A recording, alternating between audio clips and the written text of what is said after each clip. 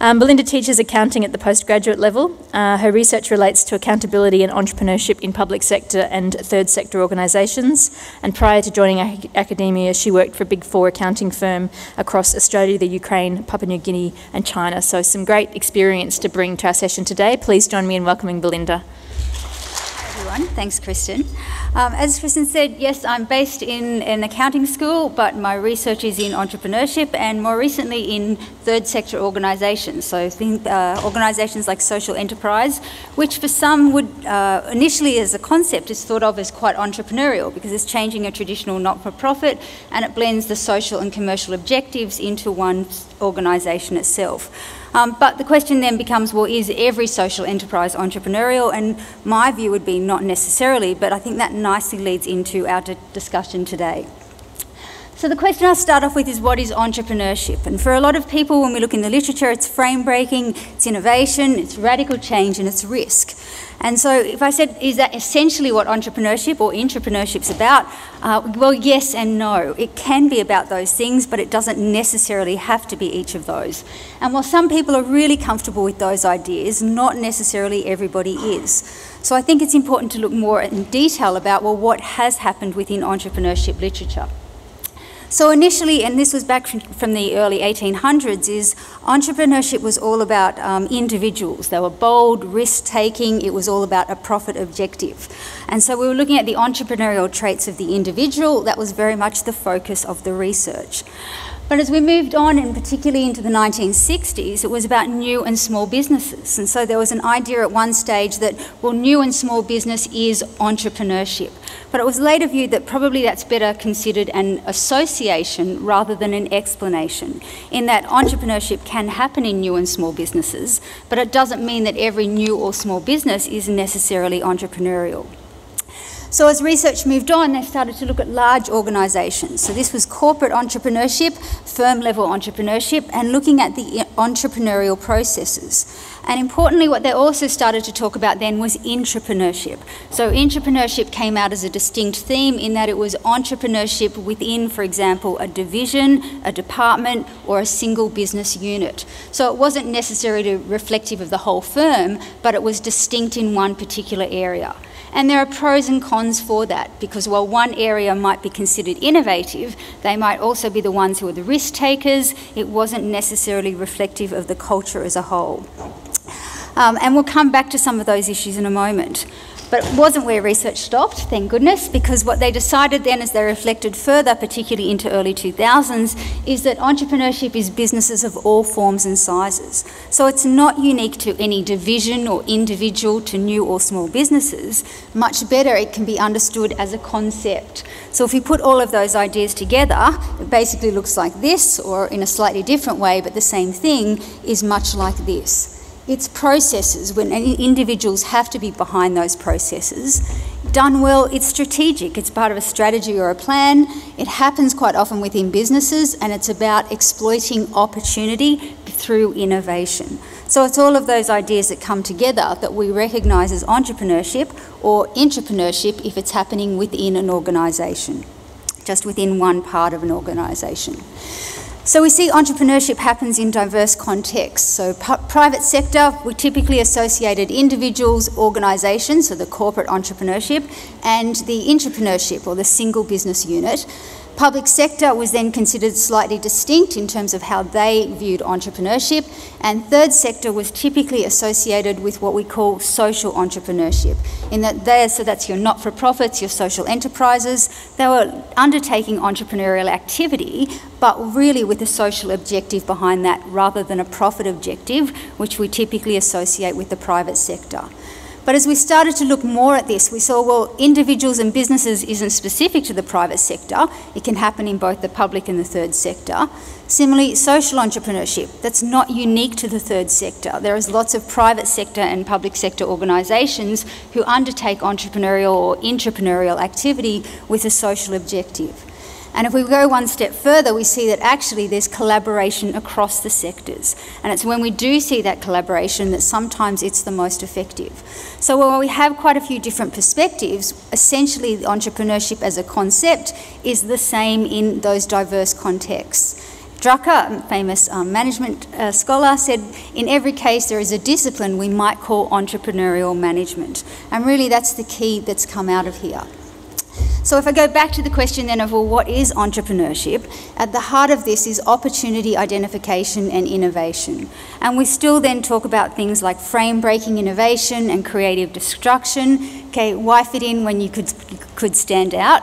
But again, not everybody's necessarily comfortable with those concepts. Sometimes they seem a bit radical or extreme, and not everyone necessarily wants to stand out as the risk taker. But actually, if we go back and just have a look at the key themes that come out of the literature across the years, we see it's opportunity identification, innovation, and risk that are central to entrepreneurship. But I think what's important and sometimes what's underplayed is that that's often balanced with vision, flexibility, and growth. Okay, so we'll just have a look at each of those concepts in a little bit more detail. Okay, opportunity often comes often comes in different forms, and so obviously it can be within the business, but it doesn't have to be that way.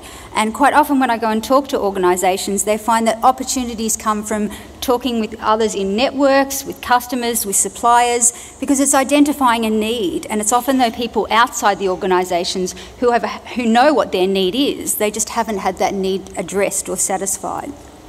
An example of this in the public sector is I spent quite a bit of time working or researching New Zealand state owned enterprises, so public sector organisations with a commercial objective. And they, one in particular, Met Service, which is the national weather forecaster, quite well known for very reliable forecasting in perhaps a nation with weather that isn't so easy to forecast, um, and also a skill just in basic weather graphics back 10, 15 years ago, just basic images in newspapers. But what they found is that they were approached by television, uh, television station who wanted to have 3D graphics software based on weather forecasting, and actually it's what probably most of us just see on the news each night and take for granted. But 10, 15 years ago, this was really quite innovative. So Met Service was approached by a customer, and they worked together on a joint project. And the TV station got it to a point that they were happy, so they wanted the they were happy for the project to end. Whereas Met Service felt there was more innovation to do, more development that would mean more commercial opportunities. And so that's exactly what they did by themselves. And it's now the um, software that's sold to TV stations around the world and not only to television stations, to other um, industries as well. So it's sometimes a case that opportunity knocks, but most importantly, it knocks because people know what your core strengths are. And I think we heard that a moment ago, knowing yourself. Okay, innovation. So definitely innovation is important and it's not enough to have an idea, it's obviously that you need to act on that idea. Okay, innovation is change that unlocks new value, and we often think of that as economic value, but it doesn't have to be because we're not just operating in economic markets, obviously, we're operating in social markets as well. So, there's different types of value that can be unlocked. When we talk about innovation, we often say it's thinking outside the box. But I think an important question to ask is well, how far outside the box? Because if we think about those extreme radical ideas that nobody else had possibly thought of, then innovation seems a little bit elusive or selective. But actually, when we look at the theory on innovation, they break it down into deliberate versus emergent. So sometimes we discover things that we hadn't necessarily intended. Sorry, I'll just go back. And we also talk about incremental versus radical. So obviously the mobile phone market radically changed the way we operated or the mobile phone industry. But there's been a lot of incremental innovations that have made really substantial and valuable changes, but they haven't been completely left field. And so it's important to know where you could fit on that spectrum. It doesn't have to be all about deliberate, and it doesn't have to be all about radical. Okay, most importantly, innovation doesn't have to be about profits. So it can be, but it's not solely profits. It's about the environment as well as people, and it's bringing something new to the market. And I think that's really important. So it's something that's being introduced to the market that's making a difference. Importantly, in innovation needs to be differentiated from imitation. Okay, and that doesn't mean that imitation's bad. I often go and talk to companies and they say, We saw someone in the US doing it, we thought it was a really good model, seemed to be getting great outcomes, so we've replicated it back here. There's not a problem with replication at all, but it is distinct from innovation. But the other thing, and we heard this before, is that not all ideas are good ones, okay? And it's important to realise once you have an idea that you've think isn't going to be commercial or doesn't have potential, that you need to be able to walk away from that. Okay, in terms of risk, we'll often hear this idea of risk, but I think what is more appropriate is an acceptance of risk. Because risk is often there, but it's a matter of identifying that risk. And we talk about companies with a different appetite for risk or a different tolerance for risk. And really, as long as you feel that you can identify the risk, then you can also manage it and try and mitigate that risk. So it comes to then being a very deliberate choice rather than a random variable that, yeah, we're risk takers, we just threw ourselves in at the deep end. And I think that's a very different um, philosophy or very different ideas.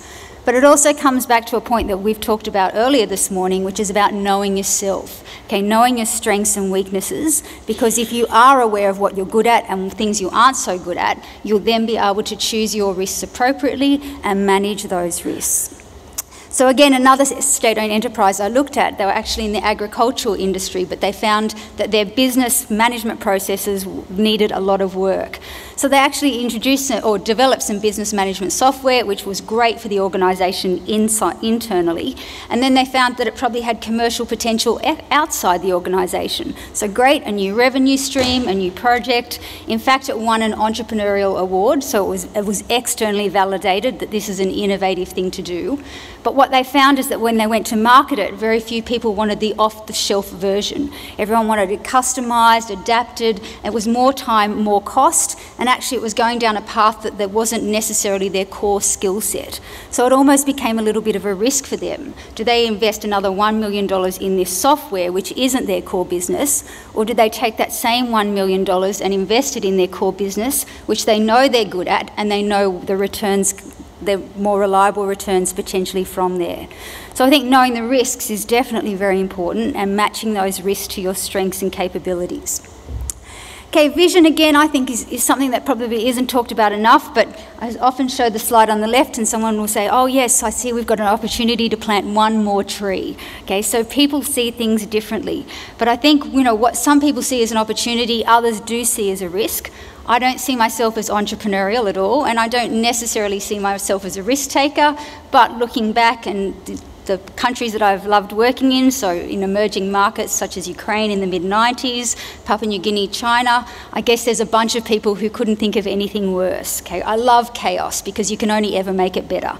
I love working with the local staff and building up a business. Okay, it's a lot of fun and very rewarding, but not everybody feels that way. So if people are asking me politely, they'll say, So you chose to go there just to check I wasn't sent? Most people just come out and say, Oh my God, were you sent there? No, I love those kind of environments. But again, it's playing to your strengths or knowing what you're walking into. So I think it's being able to see in, knowing your strengths and weaknesses, but also being able to see out. So knowing the opportunities and the threats for any environment that you're walking into. Okay, flexibility and growth, these seem like, I guess, again, a little bit underplayed, but I do think they're quite important.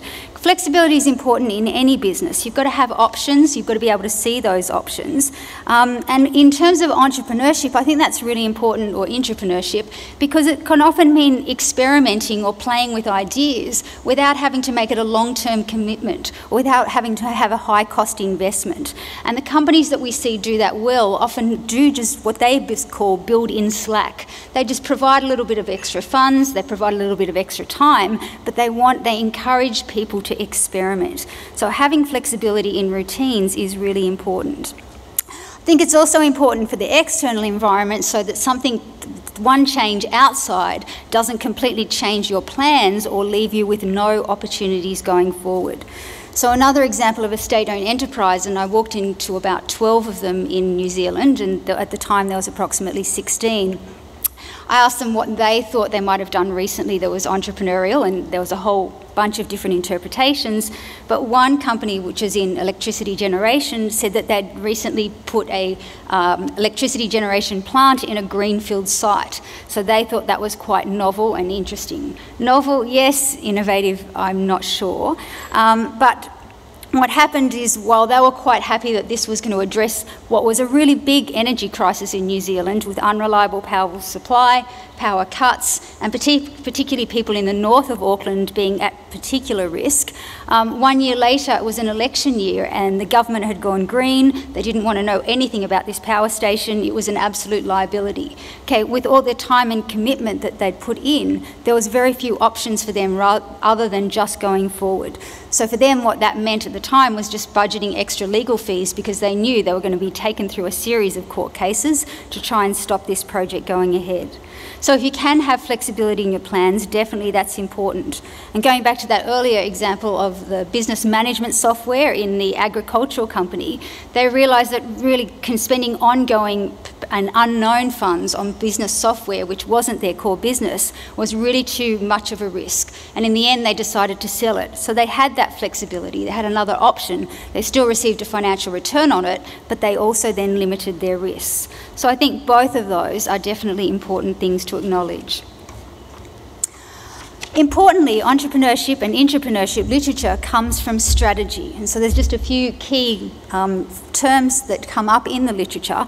But I think that's really important because when we think of entrepreneurship or innovative ideas as something that are maybe remote, select, hard to access, I think when we leads into this idea of strategic entrepreneurship, which for me seems far more accessible for any particular organisation. Because strategic entrepreneurship is about doing entrepreneurial activity, so it's still the opportunity identification, the innovation, and the acceptance of risk, but doing it from the foundation of what you're good at. Okay, what are your core strengths as a business? What are your core skills and resources? Because if you're leveraging from those core skills and resources, it's going to mean you're far more confident in the projects you're taking on, and it's going to mean you're far more familiar with the skills required, which is that example of Met Service when they were doing the weather forecasting but moving into graphics software. So, in a two by two matrix, okay, academics love these. So, top left, we've got strategic entrepreneurship. Right is the strategic activity. Left, bottom left, my entrepreneurial activity, and bottom right, neither entrepreneurial nor strategic activity. Okay, so I go into these state owned enterprises and I ask about, well, can you tell me something that's entrepreneurial? I'm really assessing whether I think it's entrepreneurial and more importantly, whether I think it's strategic and entrepreneurial. Um, and so the entrepreneurial activity example would be that business management software. It was entrepreneurial, but it had a very limited um, life for that particular organisation. Strategic is that energy generation plant. It was something that the industry needed, that the country needed. Um, was it politically strategic? I guess that's a slightly different issue. Uh, neither entrepreneurial nor strategic. There was one example of this, and my background is in tax law and working for the accounting firm, and they basically told me that they had done tax evasion. So my the politest way I could say that was tax effective financing. But I was quite surprised that anyone wanted to sell that as their entrepreneurial idea. And yet I could understand where they were coming from in a way.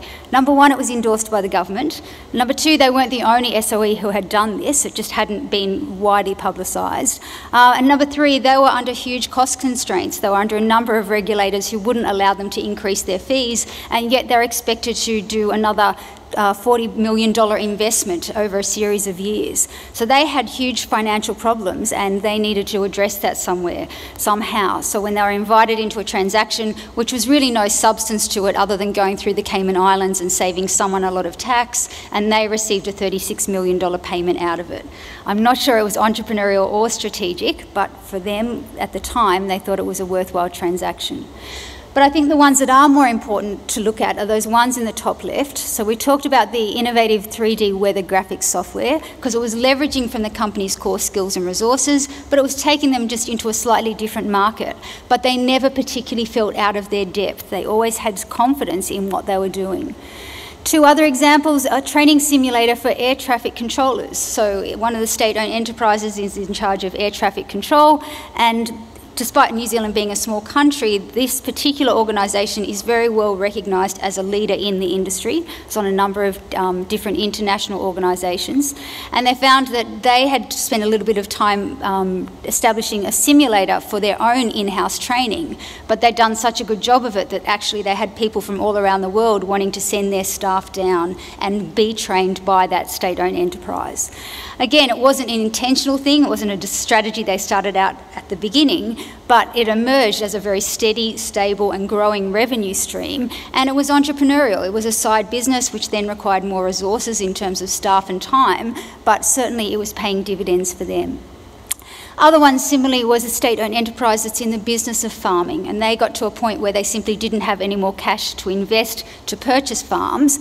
But what they noticed is there was quite a few overseas farmland owners, or even hobby farmers, but on a very large scale, who weren't making the most of their land. So because they were, their core skill was developing land and then farming it, they then approached those different people, went into negotiations to say, can we develop it for you, and then can we lease it back and farm land, farm on that land, and again, a very strong revenue stream, but something related to their core business, so they never felt out of their depth. I think the important thing, and I, also think this is underplayed a little bit, is that when we looked at strategic entrepreneurship and found, well, what were companies do, what was the commonalities among those companies, there was three things that we noticed. Number one was organisational excellence. They have very strong skills in their core business operations. Number two was culture, and so it was encouraged. There was a culture, and it wasn't necessarily a formal manner of here's your R and D budget. It wasn't considered high cost, but it was always allowing time and a little bit of money for playing, experimenting, tinkering around the edges. So the language in those organisations was very informal, but the innovations were very much tangible being crystallised. And the other thing was cost minimisation. So while they were doing, while they were experimenting and playing with new ideas, there was never necessarily a lot of money involved. And they said by the time we are spending a lot of money, we're pretty sure this idea is going to go into a product or service that has strong commercial potential. So I think that's really important. Three things to take away in terms of playing to your strengths having a culture which encourages and accepts that, and realizing then that perhaps it isn't necessarily a high cost venture to be able to do this if it's part of the culture of the organisation, which also then helps manage the risk because the financial risk becomes so much less. We said that entrepreneurship is pretty much the same across different contexts, and while that's true, I think there's also quite distinct differences in the implications, depending on if you're one person, if you're a large organisation, or if you're in the public sector. So some of the themes that came out was, look, you know, we're just doing commercial activity like anyone else would. If it wasn't for us doing this project, I think someone else would have done it. We just happened to be an SOE. So being public sector was not considered a barrier at all. But there was an also an acknowledgement of we play to our strengths. So I think if we went and started to grow tomatoes, the minister would be a little bit interested. But I think we're rooted in a, um, in a domain expertise. We self-limit more than by edict. So being within your core skills and resources. But definitely you can't ignore the, the implications of public sector. So if something's a success, people are queuing up to say how well you've done. If it's a failure, you get kicked. Which leads into that public identity and profile, I think. Because we're a state owned enterprise, people believe, rightly or wrongly, that they should have ability to influence our policies and business, from the NGOs to the Greenpeaces to the Minister of Finance. And I think that's inevitable in really in what we see. So what I would say is I, I do, I'm a strong believer in entrepreneurship and entrepreneurship. I think start with the strategy, so play to your core strengths. It's about ideas and that must come from people. And while there's been a discussion about rowing versus steering, I definitely, and subsequent discussions, I definitely think that there is an acknowledgement that innovation can happen anywhere and entrepreneurship can happen anywhere, and that if you're not getting results from what you've done previously, then you need to do things slightly differently and see the change that's coming from that. So with that, I'll say thank you. Um, I think we're having questions after the next two presenters, so thanks very much. Thank you very much, Belinda. Um, I was going to try and summarise, but you've just done almost what I had written down in your last slide, so it seems a bit redundant. Or they did want to pick up on the fact that for a couple of things that we've echoed that, that knowing yourself and knowing your strengths. And I really liked that think outside the box, but how far outside the box. And I hadn't, um, I'm not familiar with the, with the term strategic entrepreneurship and thinking about how you build on your strengths to do something innovative and new. So that's been tremendously useful. And I really liked how you took us back through some of the literature as the, as the basis. I think often we come to these discussions, you know, knowing the word.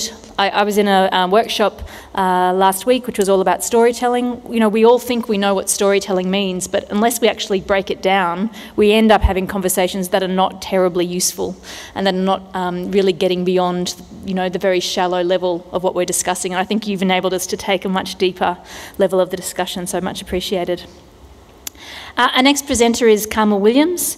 Um, Carmel is the manager of Strategic Partnerships Unit, um, previously called the Health in All Policies Unit. And both Carmel and our next speaker, Toni Delany, will be, will be speaking a little bit around the Health in All Policies. Um, I guess, projects, initiatives, and looking at how they, how they link. Um, so Carmel's led the development of this since 2007, which includes South Australia's focus on co-benefits, delivering public policy and health outcomes, and lately her work has been towards directing and uh, towards adapting and translating um, this approach.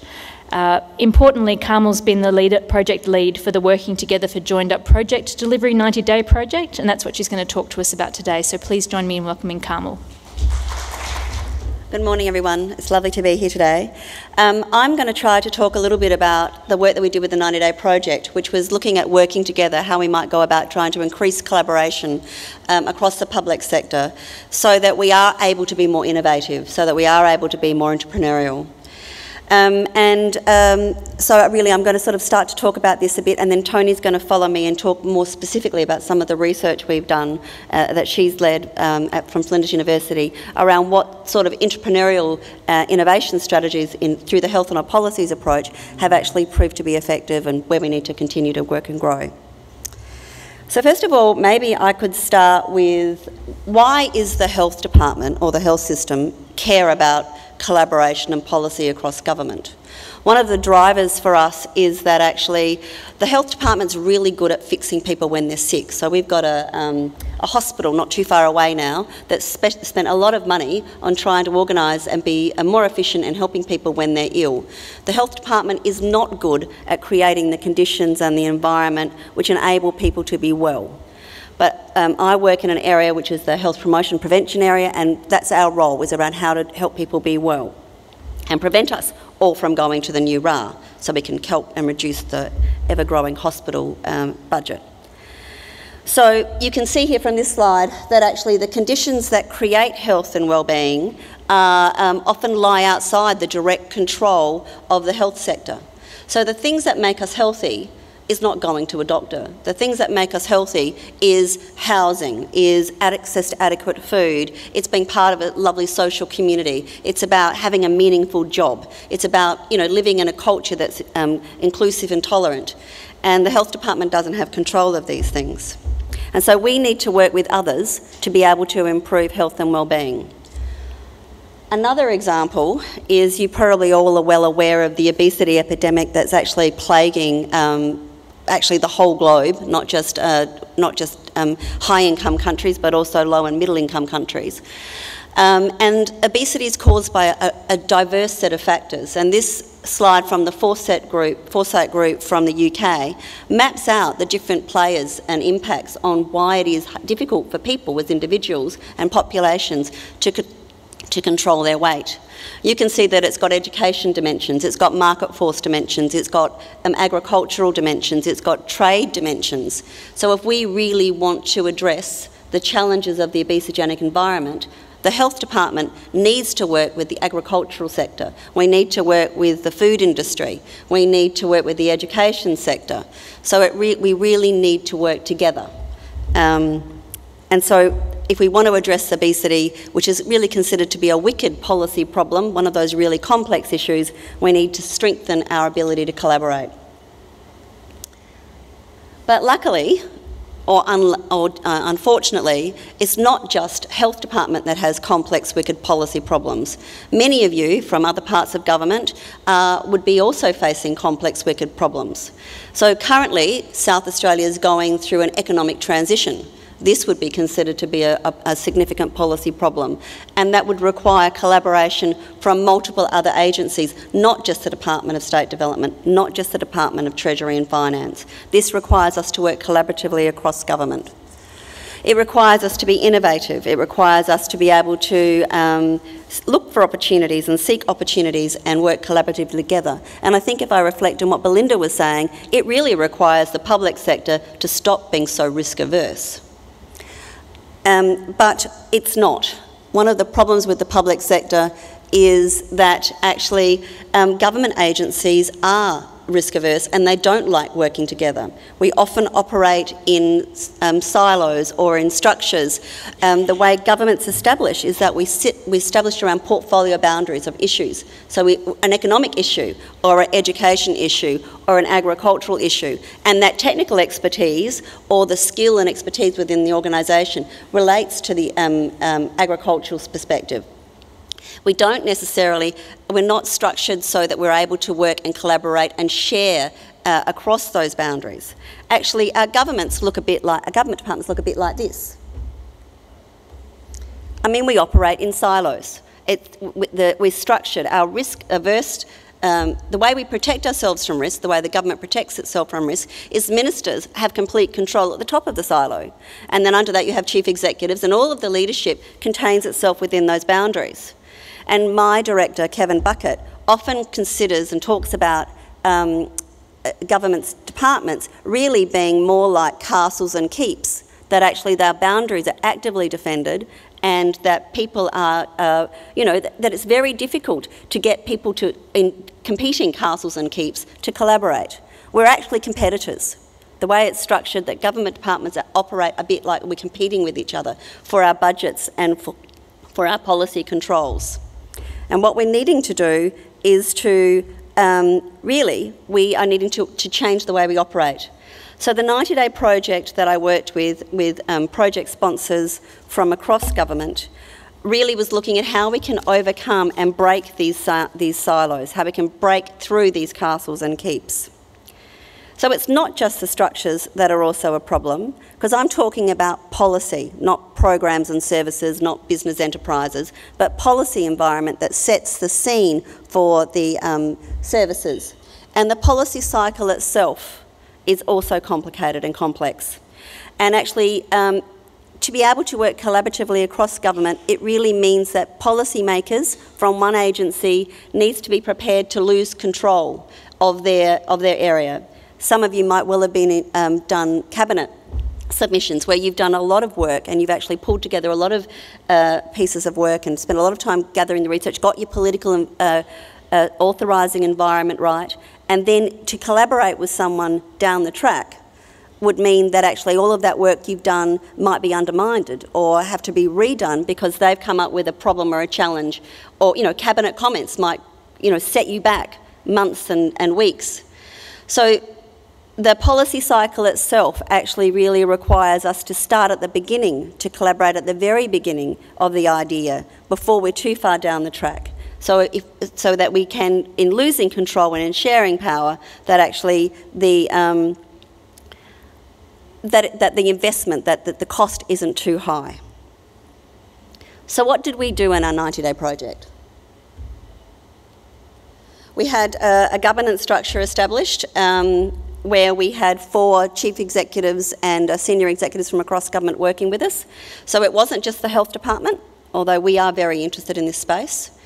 Um, it was also uh, Erma from the Office of Public Sector Reform, because this was about changing and reforming the public sector. How can we strengthen collaboration across the public sector? We had Sandy Pitcher from uh, the Chief Executive of Environment, Water and Natural Resources, because the environment sector is also interested in, in strengthening collaboration and enhancing collaboration. And uh, our Director from Within Health, uh, Dr. Kevin Buckett. And we also had Ruth Ambler the, from Cabinet Office. Cabinet Office obviously has a critical role to play in how it collaborates and sees and supports collaboration. We actually went through uh, quite a rigorous process. We looked at the literature on what are the barriers and enablers of collaboration across government. We surveyed a number of, um, of public services. We wanted to hear from your voice. We wanted to hear your lived experience around what the opportunities of working together are or what the barriers are. And um, we then uh, that to South Australia by actually working with case examples around what's worked well and what hasn't. What was really interesting was that we found, regardless of whether we went to the literature, national literature, whether we looked at case studies, whether we looked at what was happening with the 90 day change projects, whether we spoke to you through the survey, the, the, the findings were consistent.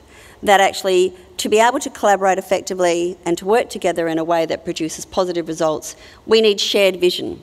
And that needs to be vision from the top right through to um, lower levels of our leadership.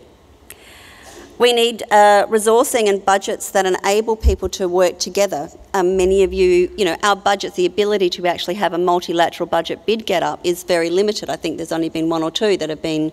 Um, so our whole bilateral process of negotiating funding and budgets within departments really prevents and makes it almost impossible for us to work collaboratively and to put ideas forward jointly it's also the way our government structured the idea about whose responsibility, who gets the rewards, and who gets the who's accountable if things go wrong.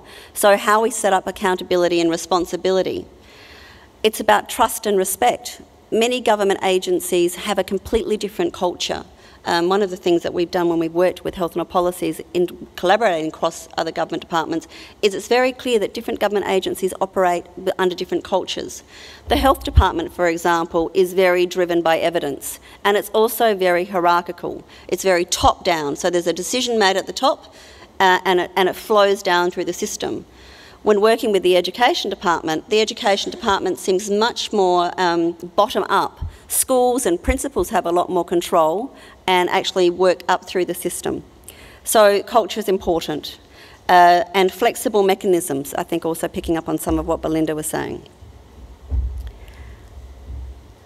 So the recommendations of the 90 Day Project came up with um, three broad areas that we need to be, the government needs to pursue and the public sector needs to pursue if we're going to strengthen our collaboration and we're going to be able to address some of the complex policy issues that we require and we're going to strengthen the opportunities for people to be innovative.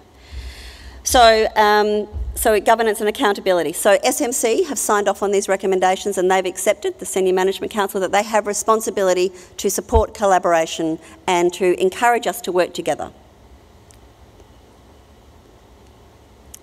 Processes and tools. People need to know how to go about collaboration. There was a strong sense from the survey that people do want to collaborate across the public sector. You all told us that that was something that you would like to do more of. Some of you were able to do it, others aren't. But people struggled to work out how to do it and when to do it. Not every policy issue requires us to collab- requires collaboration, but the ones that do, those wicked complex ones, actually people need to know what are they? When, are, when is it an issue they need to be asking themselves, is this a wicked complex problem? Should I be collaborating with others? And then to go about how to do it. So one of the things that we'll be doing um, through Cabinet Office is developing a tool and guide, and SMC will launch this. But probably most importantly are the people, and this is where I think the work that we've done really intersects nicely with the entrepreneurship work and, and the entrepreneurship group because people are critical to actually enable working together and collaboration. Most of us probably come within our departments and get appointed to our roles with technical expertise that's specific to our department's portfolio area of responsibility. So we'll be an economist, or we'll be a teacher, or we'll be a, a health practitioner. The skills that are required to collaborate and, and to be innovative and to, to be an entrepreneur are the skills that are less are less technical and they're more tactical. So the skills that enable you to navigate and boundary ride, the skills that enable you to identify when you need to link with people, the skills that are that enable you to um, to develop strong, trusting relationships with people outside of your organisation. They're the skills that are required. And the recommendations are that we need to identify these people within public sector, what we've called change agents, um, and that uh, they need to be able to set up a bit of a community of practice. And then through that, we can, can continue to grow the opportunities for collaboration. so this is what the model looks like in practice, um, and this is the, all of these pieces are coming together. It sits on the culture and ethos of the public sector, which Erma talked to about earlier about our need for us to um, uh, to renew that. It's based on our public sector values, and it's really helping us deliver. So, in working together to improve joined up policy delivery, we're actually also trying to support the Better Together principles by working together successfully across government and then government being able to work effectively and intersect with um, community around what it is they need, then ultimately we should be able to deliver better public value. We, we should be delivering public value for the citizens of South Australia. And my last slide is that what we're really wanting to do is to move the public sector across this continuum. Many of us operate in the coexistence or communication ends of this, of this continuum. What we're really wanting to get to is the collaboration end, where there's shared responsibility, shared accountability, shared recognition, and that we, that we have then shared outcomes. So that's it. Thanks very much. Thank you very much, Carmel. I was um, just trying to pick up a couple of things in what I'm what I'm tweeting out, and again we come back to the know yourself um, bit. But I, I, what um, what your presentation's done for me is start to also make the the formal renewal of the structure quite explicit, and I think that's really interesting. Often um, the idea of entrepreneurship or intrapreneurship is seen as this: um, you're, you're not playing within the rules. You're trying to test the system. You're trying to do it differently, and I think what we're sort of saying in here is actually to do you know, complex policy making work and to do that differently, then actually formalising a structure can can help.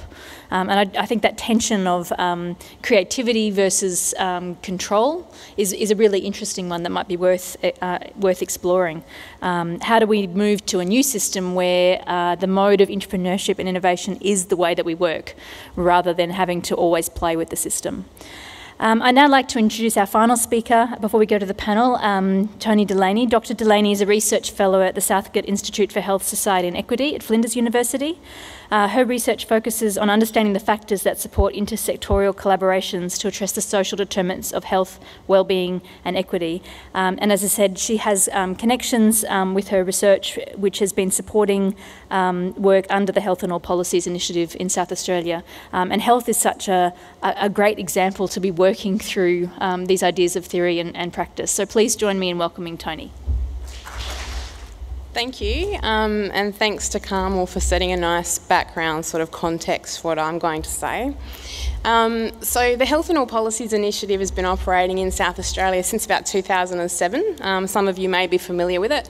The basic philosophy behind it is working um, with other sectors, not just the health sector, but other sectors across the South Australian government to undertake work that will progress those sectoral goals as well as um, progress health and wellbeing goals. And so we've been involved in some research um, which is theory driven, but what I've tried to do today with the presentation is to distill some of the findings, to think about some concrete strategies that might be useful in progressing some innovative entrepreneurial work um, based on learnings from health in all policies. So I'll give a very brief introduction to the research project, not much time spent at all. Um, then just go through some of the achievements that Health in All Policies has produced. Then focus on four key facilitators that have emerged from our research before summarising these strategies. So the research team that I'm part of is quite large, and the important thing to note is that it's an academic research team, but it's also a policy actor research team. So this has been useful in helping us to keep the findings um, rigorous, academically rigorous, but also policy relevant. So we're funded by the Australian National um, Health and Medical Research Council and very generously over five years, which is quite unusual for an evaluation project of this type. Um, in essence, what we're trying to do is establish whether the Health in All Policies Initiative in South Australia has contributed to health and wellbeing outcomes for the population.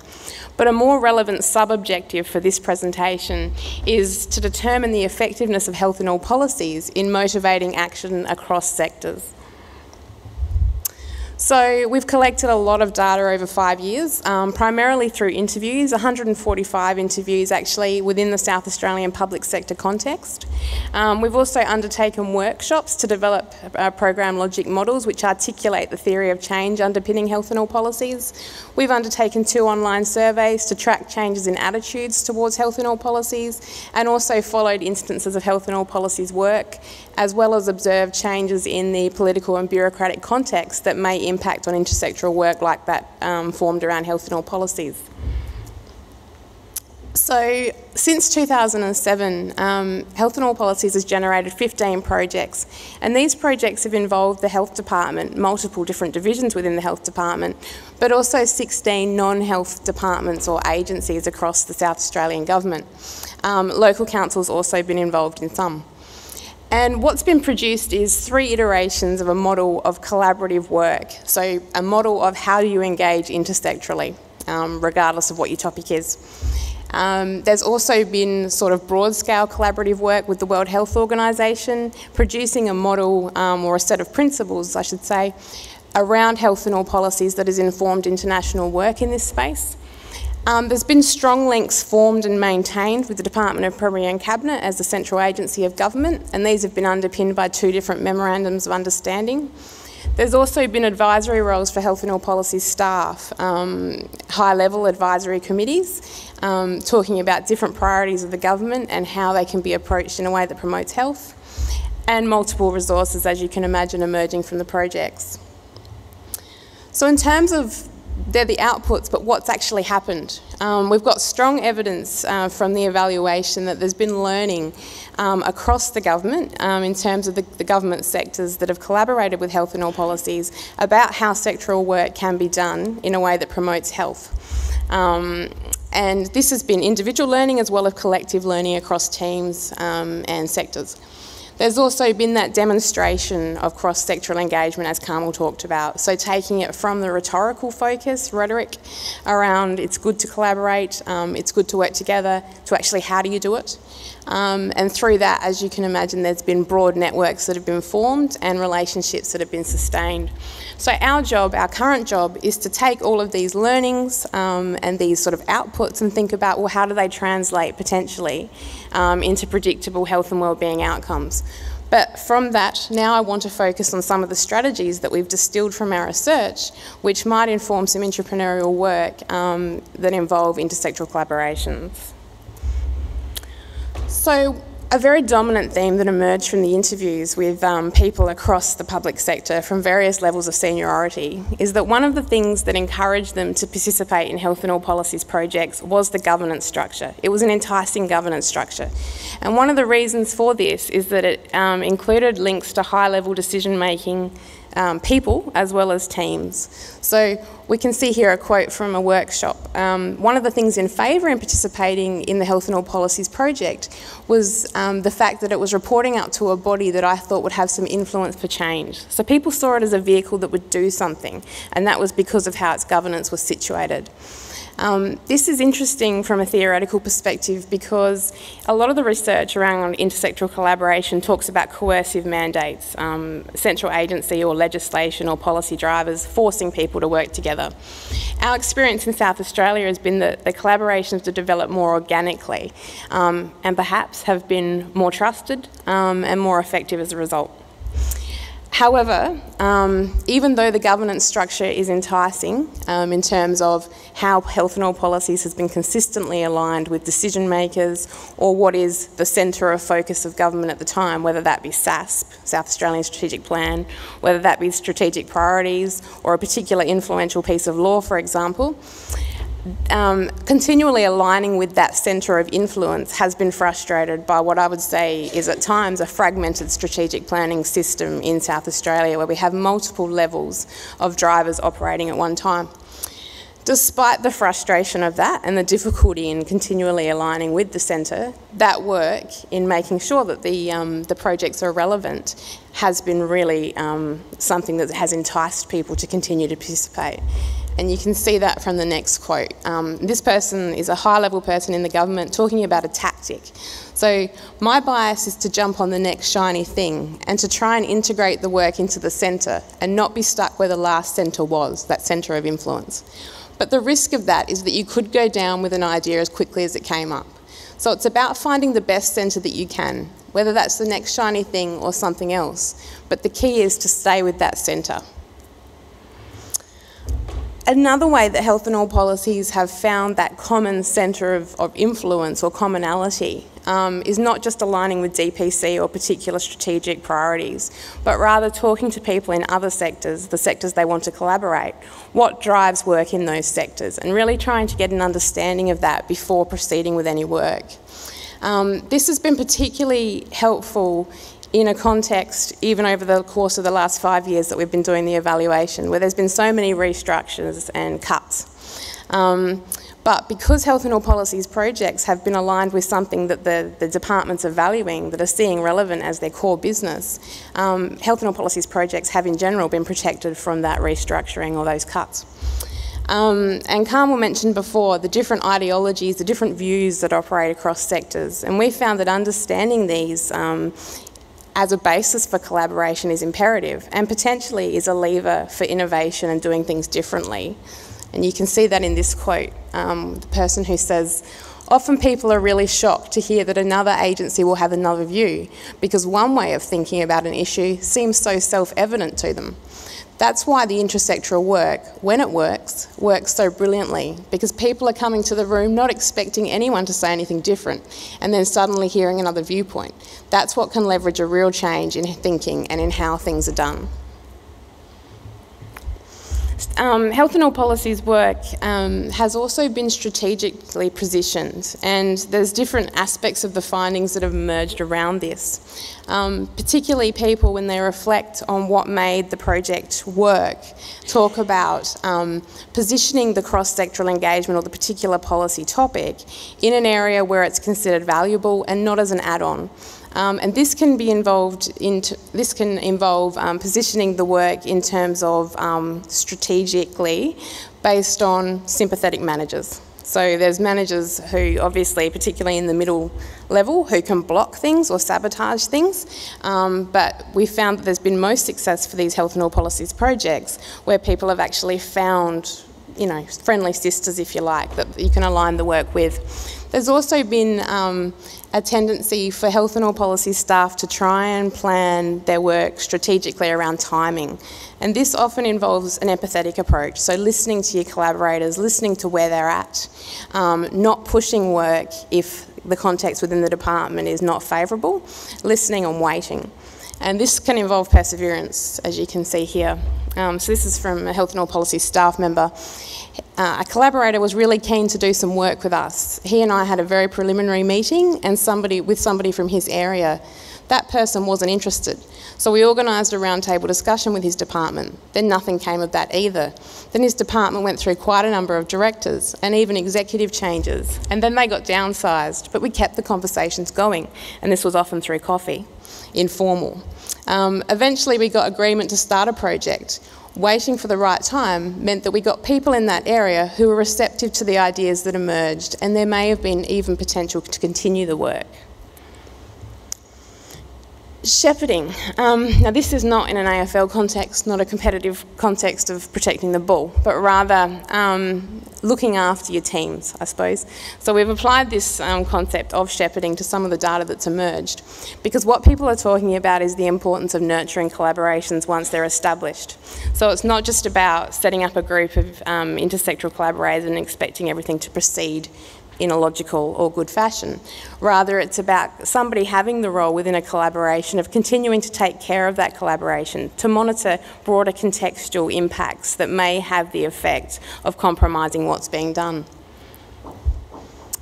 From a facilitation perspective, it's really about bringing together the critical players and developing and maintaining those relationships, both through the agencies individually and government as a combined whole.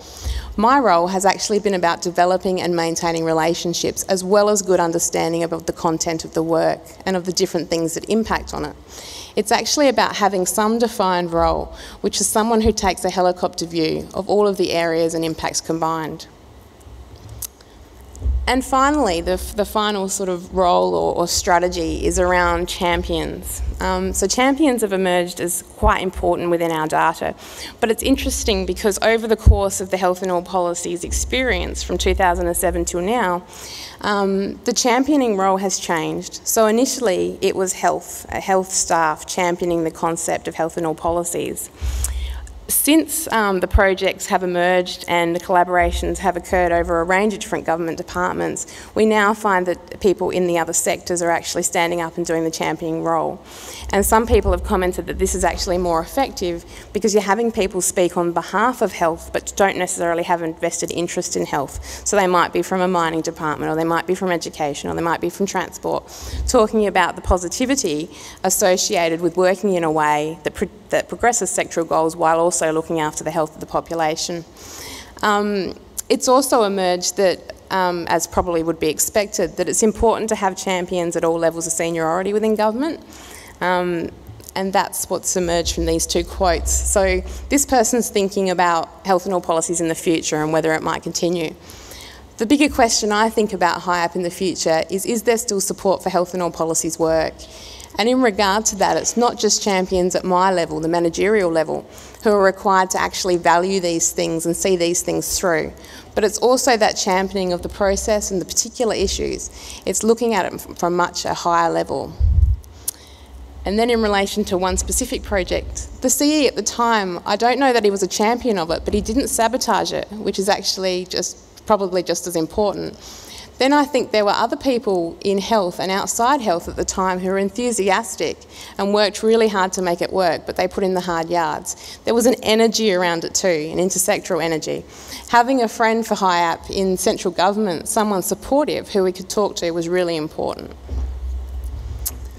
So then to sum up, um, so what are some of the key learnings that we've um, key learnings about factors that we've found that supported health in all policies collaborations that might be able to be applied in some um, of the innovative activities that you might be thinking of. So I think it's about finding a supportive and relevant governance structure, something that entices people to collaborate with you. It's about the strategic positioning of the work, trying to find that that, that centre of activity, that centre of importance, but also finding receptive people um, and, and practicing empathy in terms of when you push and when you hold back. Um, it's about shepherding and perseverance, so not expecting everything to happen at once or expecting that once a collaboration is established that it will continue.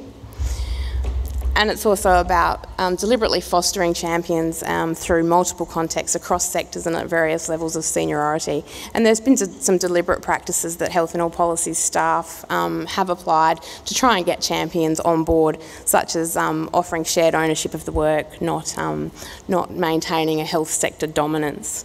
Um, yeah, so thank you. Thanks very much, Toni. I'll also ask Belinda and Carmel to come and join us for the panel.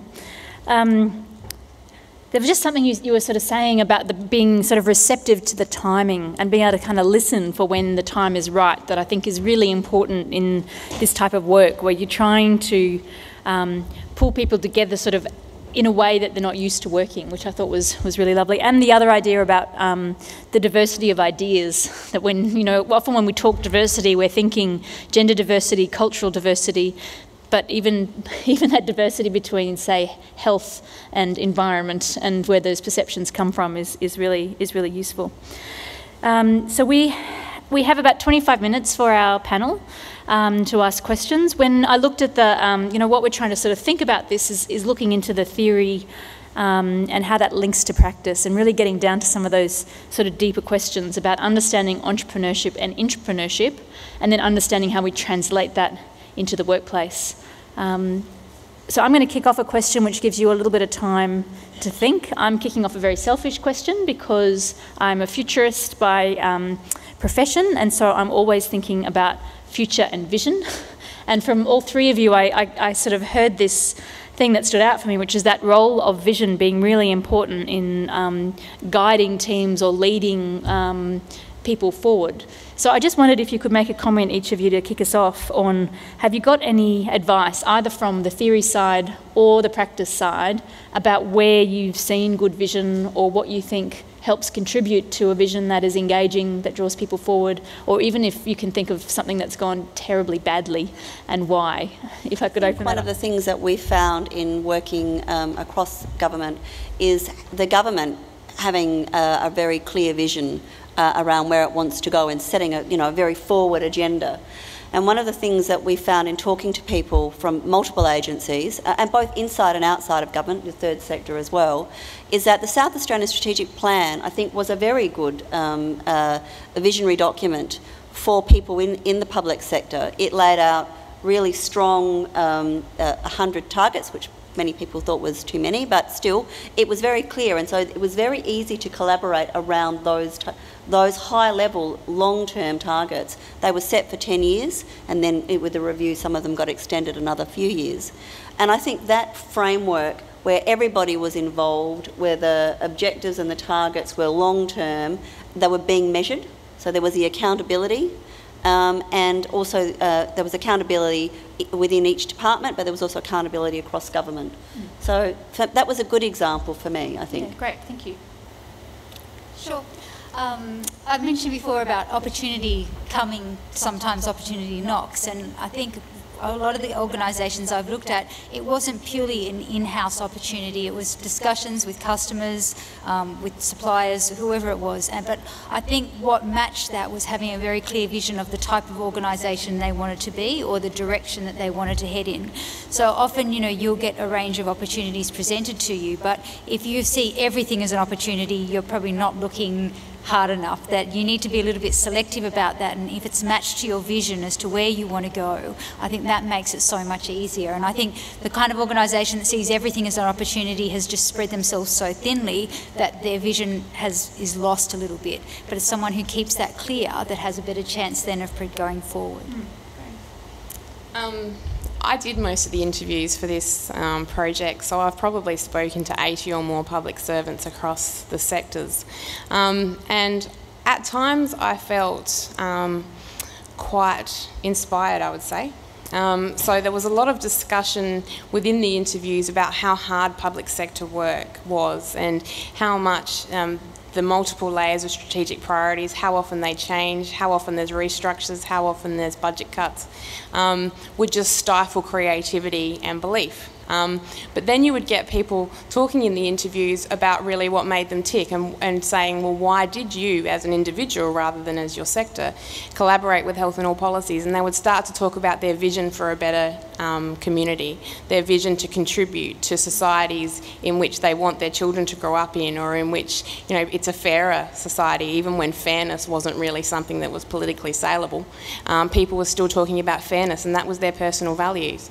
So I think the public sector definitely has people who may be feeling a little stifled or contained um, by the organisational constraints in which they work, but there's still those visions there.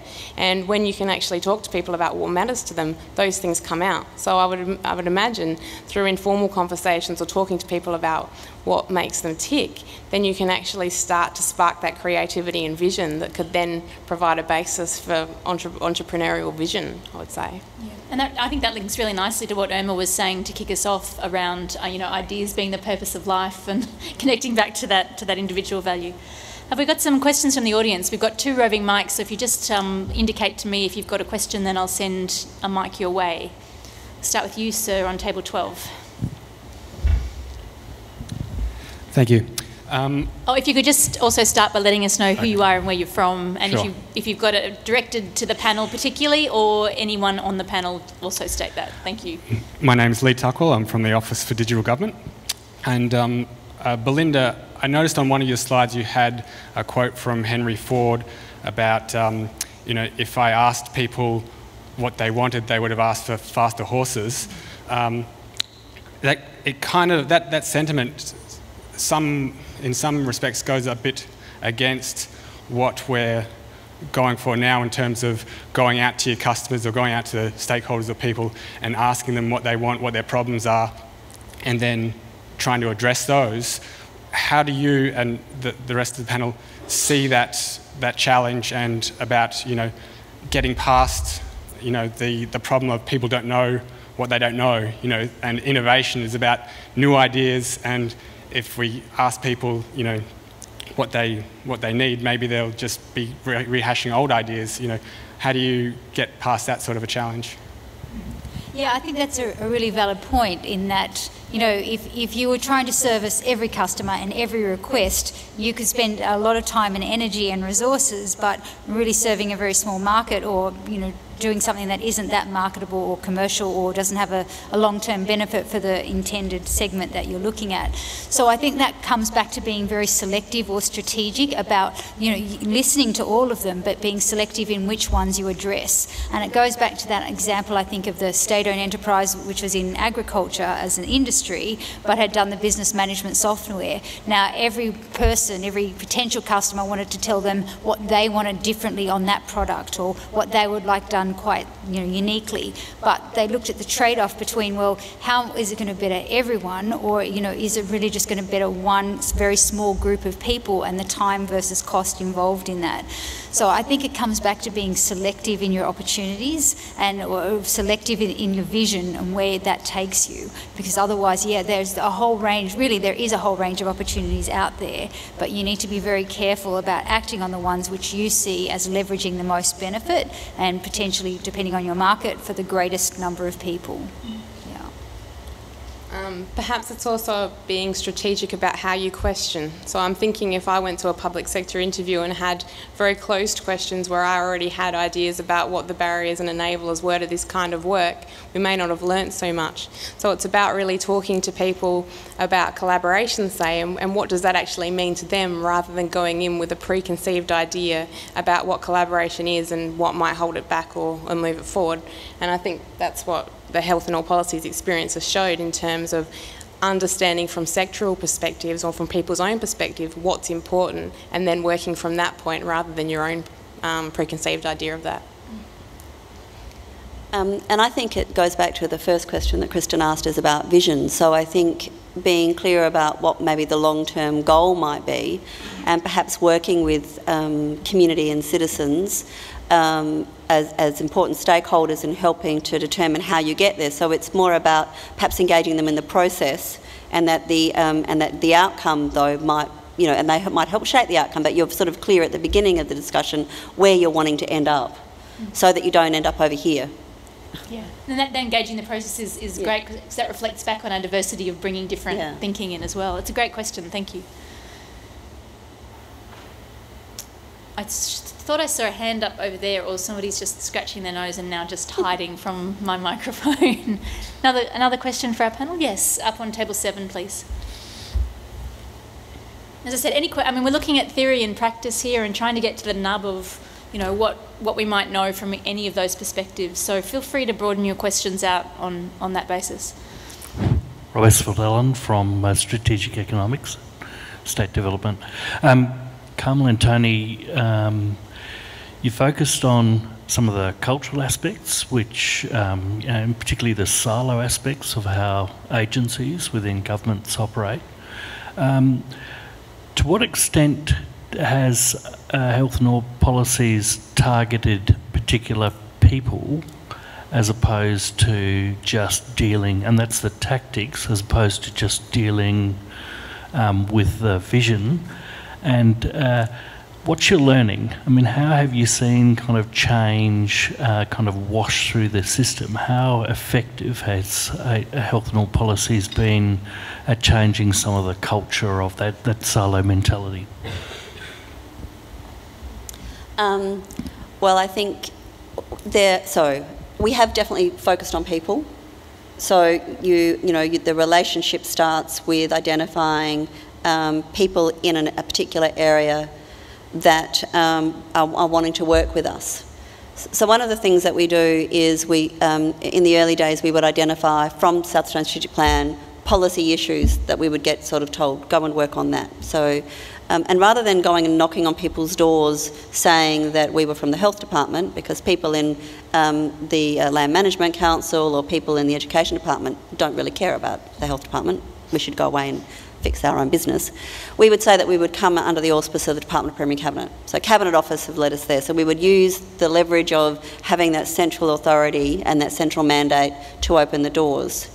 And then we would just persist until we found people that were prepared to talk to us. We also didn't go in, one of the other things that I think was important was we didn't go in with um, a preconceived idea necessarily around so we might have had an issue, say, for example, um, Aboriginal life expectancy was one of the things we were told we have to address. So we went to go and talk to a number of people around Aboriginal life expectancy, and through a number of discussions, we ended up looking at um, road safety because Aboriginal mortality rates were high as a result of road safety issues. And rather than taking a road safety focus, because of discussions with policy people in, um, in a number of areas, we ended up with driver's licensing because driver's licences are a, a, means to, to help you be able to uh, drive a car. And they also had a lot of other spin offs in terms of Aboriginal identity. So, not going in and saying from a health department, well, we really want to fix road safety and we want to make cars safer and we want people to drive safer. Well, listening to what the opportunities there, where the complex issue was, where there was, a, where there was capacity and interest in trying to make change and, and flowing that way and at each of those steps working with people who were interested in wanting to work with us and, and as Toni said, I guess nurturing those relationships. So to your last part of the question about whether we've made cultural change, I think there's some small elements and some small pockets but I suppose the fact that there was such strong support for the 90 day project, which is really about strengthening the things that we've been, had the privilege to learn through applying health in all policies to all policy issues across government. And the fact that um, SMC seemed, they said they're very enthused about it. So I guess it, I think it's a, it's a wait and see. But I think, yes, there seems to be more appetite for it now than there was, you know, nine years ago. Mm-hmm. Would you say that? Yeah, I would say that. Um, I think one of the, the definite outcomes that we can prove through the, the data that we've collected is that there has been some cultural change, um, whether that be in individual teams who are close to the person where, who has worked with health in all policies, or whether it's broader than that. That probably depends on the particular example of the sector. Um, but I was thinking about the same um, example that Carmel used around Aboriginal licensing. And I think that one of the things that made that collaboration work to the point that it did was that you had people around the table who were sympathetic to that cause. So that project involved listening to some quite harrowing information around Aboriginal life expectancy, Aboriginal disadvantage. Had you not had buy in from the particular people there, they might have stepped away from the table there might have been less, um, there might have been more resistance based on, well, this isn't necessarily our sectoral business, it's not something we have to do, so we're not going to participate. But through targeting particular people who are interested in the issue and who had a passion, I think that's what brought the sectors around the table. Uh, yeah, I just like how that links both back to the inadvertent brilliance. You know, by following the line of inquiry and listening, you end up with something that seems like a um, a tangent, but actually then becomes very valuable, and then reflects on what Belinda said earlier about building on your strengths and um, you know doing things strategically. You know how far outside the box, and to me that one kind of sits in an interesting position where, in some ways, it's quite outside what you might have expected, but in other ways, it builds completely on the strengths that you've got. So a great, a great example. But isn't it interesting because that's exactly what mining companies as well are starting to do, that Fortescue Metals, and that they were finding that in remote areas, you know, it was declining populations, and really they'd much prefer to have local staff than fly in, fly out. You can build a community, you can um, also support the local economy, and so they were trying to get um, Aboriginal uh, people local to the area involved. And one of the things they found is, okay, well, they're not completing school, so how do we keep them in school? Then, you know, they not don't have a driver's license, so they can't get to work. So then they started giving the introducing programs to make sure that they had those things, which really, for most of us, are just so inherent to us growing up, but they weren't necessarily in these remote and regional areas. And um, and it was interesting because the public sector was trying to get the same outcomes, but wasn't successful in what they were doing. And when they saw Fortescue doing such a good job of delivering it because it didn't end at driver's licenses. It then started with apprenticeships, and obviously Fortescue had a limit of how many they were able to employ, but they entered into contracts with other large mining um, organisations on the expectations, and I think it was written express expectations that we expect you will also have a percentage of Indigenous um, trainees over the next five years. And so it was building a culture, but a, a regional culture around inclusive communities. And it was very clever things because, you know, there's actually a criticism in corporate social responsibility literature of, well, how convenient for companies to do something that works for them. And you think, well, actually, yeah, it worked for them, but it's worked for the community, it's worked for the government. The government actually started funding Fortescue's programs because they found that Fortescue was getting better outcomes than the government was by themselves. So I think it's when you start collaborating, and, and like I said before, there's nothing wrong with replication, but it's making sure you replicate the good ideas and getting the good outcomes wherever that comes, whichever sector that comes from. There's a question on table eight.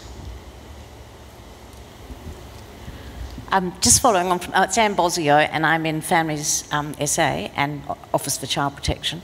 Um, I'm interested in terms of the issue of integrating and embedding.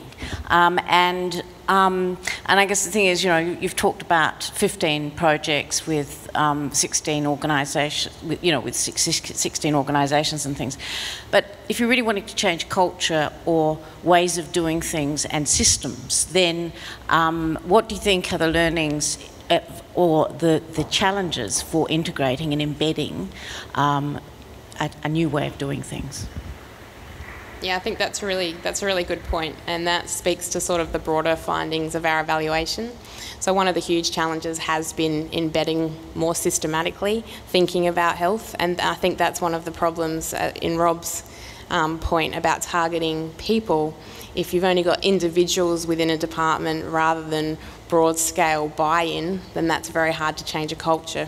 Um, but in response to your question, I think it's a matter of scale. That's how we're approaching it in relation to health in all policies. So, health in all policies really, at its peak, only had six staff. It was a very small team um, in an environment, as Carmel mentioned, that's focused on illness. It's not focused on health. So, it was often attacked, I can probably say that, Carmel can't. Um, it was often attacked from inside rather than outside. Um, and so those six staff had to work very, very hard just to maintain the project focus that they had on the go. The extent to which um, the projects have resulted in results that have been embedded in broader systems, it's variable. I'll draw on the example that we used before. One of the success stories is the Aboriginal Road Safety Project, where we've actually now got in the um, APY lands driver training programs that have resulted in more than a doubling um, of people in those lands with licences.